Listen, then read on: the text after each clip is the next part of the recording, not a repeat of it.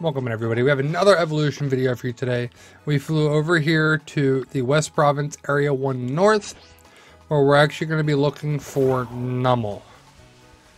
Numel should be pretty common around here.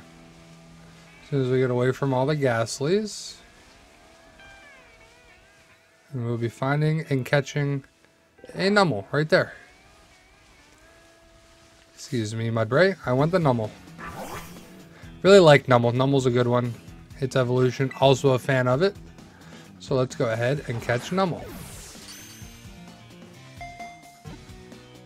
There we go. Numel has been caught. Numel will be added to our party and then we can perform the evolution. There we go. The little fire ground type. Level 18 right now.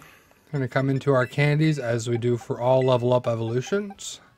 Let's do 5. That's 27. Not quite enough.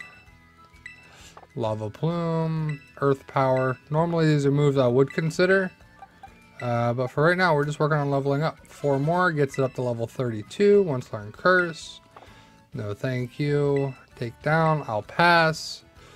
Not quite high enough. There is level 33. That is what you need to evolve Numel.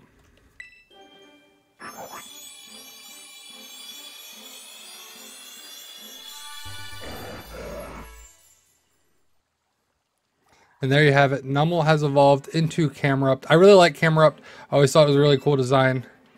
Once learned Rock Slide, not worried about it.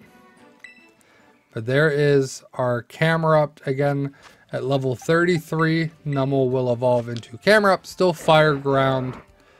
Definitely, definitely recommend Camerupt. Just a cool looking Pokemon. It looks like it would be fluffy to pet, but also has giant volcanoes on its back. So there's Camerupt. I hope you guys found this video helpful. If you did, be sure to hit that like button. Subscribe if you're new. We're going to be going through all the evolutions available in Pokemon Scarlet and Violet as we prepare for Pokemon Legends ZA. And I hope to see you guys in the next one. Take care.